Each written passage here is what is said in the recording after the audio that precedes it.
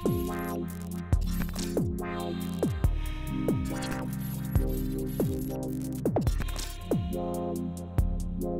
bistvu sploh ne vem, če bi naredila kaj drugače, ker se že zdaj počutim, da imam popolno svobodo, strokovno upravljam svoje delo, nadrejeni mi zaupajo, tako da se pri tem prav dobro počutim in nam stvari prav dobro funkcionirajo. Strinjam s kolegico tudi pri naravi našega dela, se mi zdi, da imamo kar precejšno svobodo. Uh, edina stvar, mogoče krajši delovnik.